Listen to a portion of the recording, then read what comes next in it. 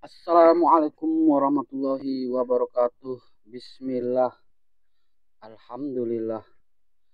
Allahumma sholli ala Muhammad wa ala ali Muhammad. Berjumpa kembali bersama saya channel Al Husain.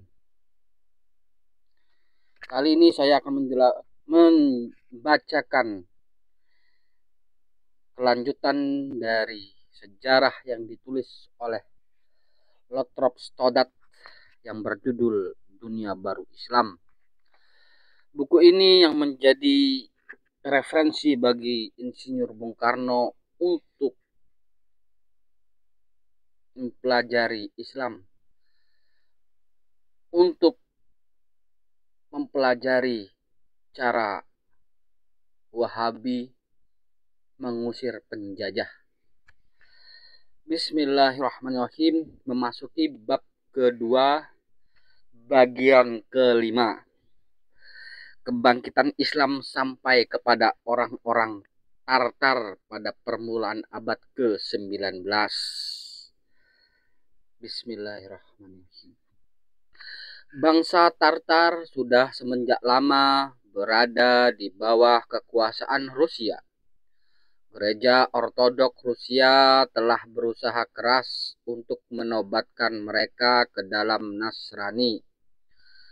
Dalam hal ini ia memperoleh beberapa hasil, tetapi ketika kebangkitan Islam sampai kepada orang-orang Tartar pada permulaan abad ke-19, mereka segera mulai menarik saudara menarik kembali saudara-saudaranya yang telah memeluk Nasrani ke dalam Islam. Dalam waktu yang pendek, kebanyakan mereka kembali Islam. Walaupun gereja ortodok berusaha keras dan penguasa-penguasa pemerintah Rusia menjalankan cara-cara kekerasan untuk menghalangi mereka.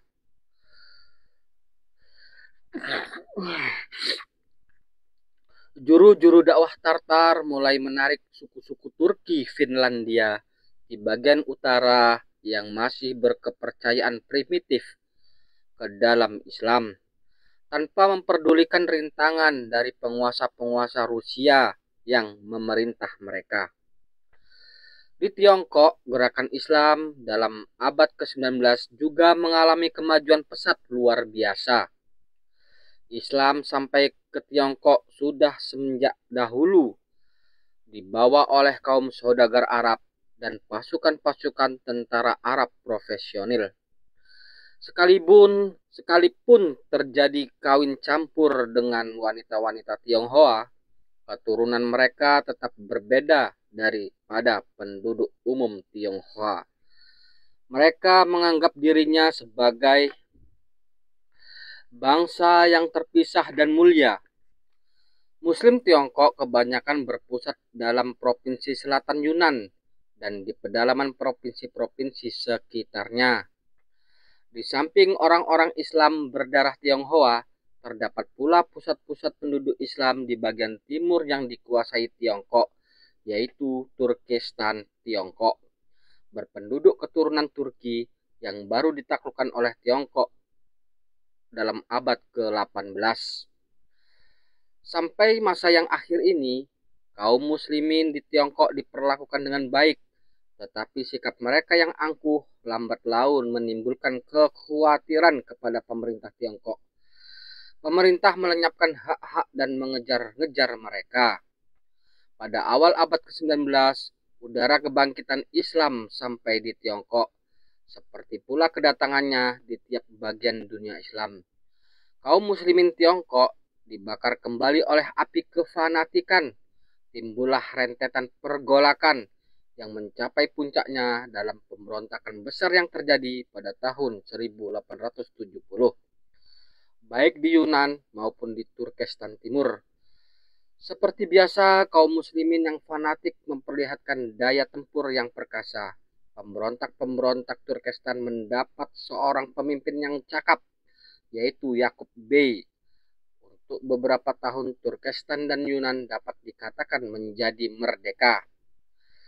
Bagi kebanyakan peninjau Eropa waktu itu, tampaknya pemberontak-pemberontak itu akan bersatu mendirikan negara Islam yang permanen di Tiongkok Barat. bahkan akan menaklukkan negara Tiongkok seluruhnya. Kemasyuran Yakub Bey tersebar di seluruh dunia Islam.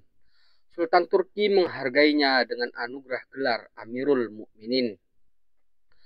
Setelah beberapa tahun pertempuran dahsyat dengan pembunuhan-pembunuhan yang mengerikan, pemerintah Tiongkok berhasil menundukkan kaum pemberontak. Kaum muslimin Tiongkok menjadi sangat berkurang jumlahnya. Mereka masih belum mendapatkan kembali kekuatannya semula, tetapi semangat mereka tetap tak terpatahkan. Jumlah mereka kini 10 juta jiwa penuh. Jadi Islam Tiongkok sekalipun mundur merupakan faktor yang harus diperhitungkan di masa depan. Apa yang terurai di atas bukanlah itu saja yang merupakan aktivitas Islam selama abad yang lalu. Di India misalnya, Islam terus berkembang cepat. Begitu pula di Kepulauan Indonesia, penjajahan Eropa sesungguhnya lebih banyak menguntungkan daripada merugikan penyebaran Islam. Sebabnya orang-orang Islam mengambil manfaat dari kemajuan-kemajuan yang diciptakan Barat, seperti kereta api, pos dan percetakan untuk penyiaran dakwah Islam.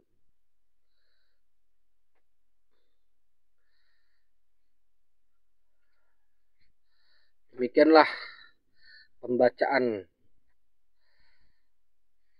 bagian kelima dari bab kedua yang ditulis oleh sejarah pakar sejarah abad ke-19 yang bernama Lothrop Stoddard. Semoga kita bisa mengambil pelajaran dan bisa mengambil hikmah